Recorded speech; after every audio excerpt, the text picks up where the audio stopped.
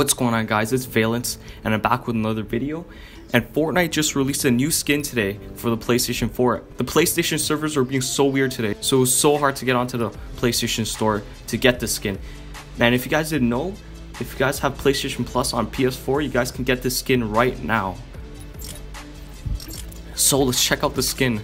So first let's look at the back bling and you guys can see that nice carbon fiber on the back with the blue and white coloring on the back. It looks so clean. There hasn't been a back bling that looks like this. Okay, let's equip it. So now, let's go on to the skin. And here's the skin. And look at that. Look at how awesome he looks. With that blue and white color. Matches the back bling perfectly. And look at those goggles with the blue light. The skin is so clean. The colors just match perfectly. The gray and the blue, that's like a perfect blue. Let's put on the whole set. Let's put on the, the PlayStation Glider too. Here it is. Now it matches perfectly. And there we got the full set. We got the full PlayStation outfit.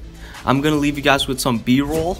I hope you guys enjoy. And before this video ends, this video has been brought to you by TunnelBear. TunnelBear is an easy to use VPN app that lets you browse the web safely and securely from many different locations. It lets you change your location so you guys can move closer to the Fortnite servers and fix your high ping. So if you guys want to check it out, link will be in the description and it's free to use and if you guys enjoy it, you guys can pay for the monthly subscription and enjoy your low latency and low ping on Fortnite. If you guys enjoyed this video, please smash that like button, subscribe, and enjoy the B-roll.